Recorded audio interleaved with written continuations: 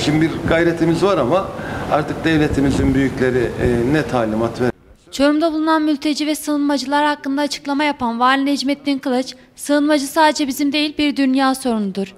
Çorum'da düzenlenecek olan 7. Yüzme Şampiyonası için Çorum'a gelen Aile ve Sosyal Politikalar Bakanlığı Bakan Yardımcısı Mehmet Ersoy'u Çorum Valiliğinde karşılayan Vali Necmettin Kılıç basın sorularını yanıtladı. Gazetecilerin sormuş olduğu sığınmacı sorusuna cevap veren Vali Kılıç, sığınmacıların çoğunlukla Iraklı ve Suriyeli olduğunu dile getirdi. Ayrıca Dünya Bankası'nın yapmış olduğu yardımdan bahseden Kılıç, aylık kişi başı 100 TL'lik yardım yapıldığını söyledi. Sığınmacıların Çorum'da asayiş olaylarına karışmalarında oldukça az olduğunu ve yasalarımıza azıcık bir ayrılık durumunda ülke dışında gönderdiklerini ifade etti.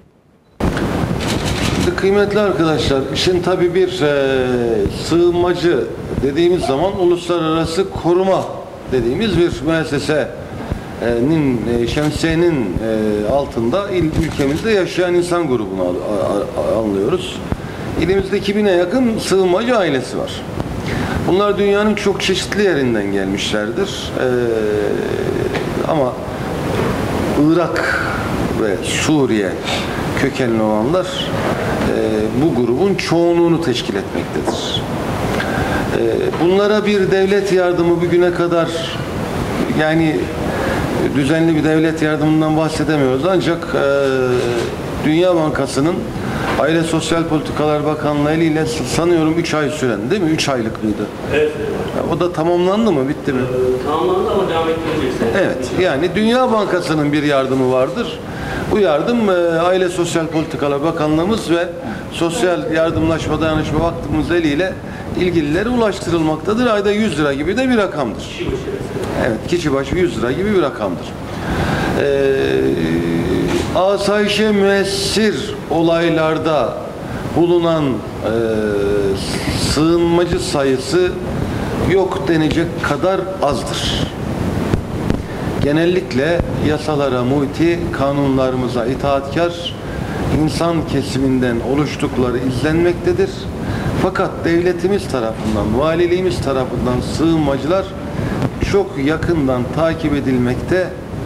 Yasalarımıza en küçük aykırılıkta. Bu ille de asayişe müessir olarak algılamamak lazım.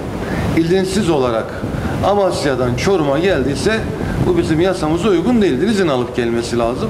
Biz bunu tespit ettiğimizde deport ediyoruz. Ülke dışına gönderiyoruz.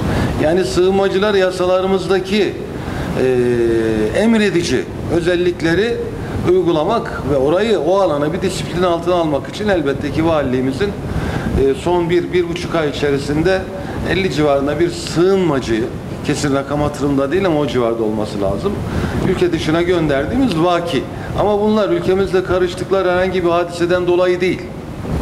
Ee, bizim idari mevzuatımız uymadıklarından dolayı ve küçük risklerden dolayı biz risk almıyoruz ülkemiz içerisinde.